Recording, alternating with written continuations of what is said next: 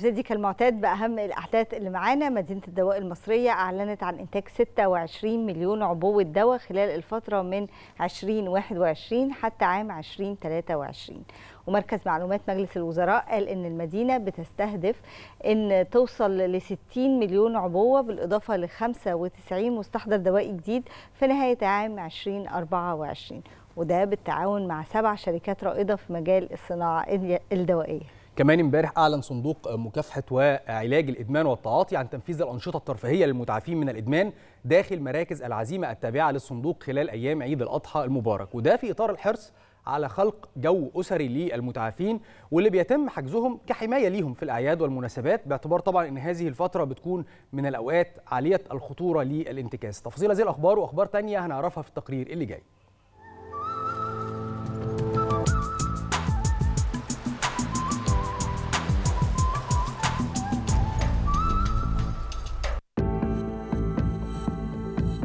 أخبار كتيرة حصلت امبارح. مدينة الدواء المصرية أعلنت إنتاج 26 مليون عبوة دواء خلال الفترة من 2021 ل 2023 ووفقا لما نشره مركز معلومات مجلس الوزراء فإن المدينة تستهدف أن تصل ل 60 مليون عبوة بالإضافة ل 95 مستحضر دوائي جديد في نهاية 2024 وده بالتعاون مع سبع شركات رائدة في مجال الصناعة الدوائية.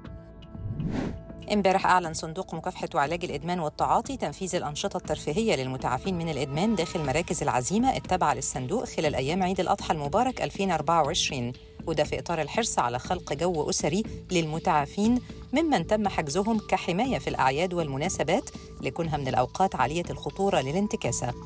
وحيث يتم تأجيل خروجهم لحين انتهاء أيام العيد لحمايتهم لمجرد التفكير في العودة للإدمان. كما تم أيضا العمل على تنمية مواهب المتعافين زي التدريب على الموسيقى والرسم وتنفيذ العديد من الحرف اليدوية.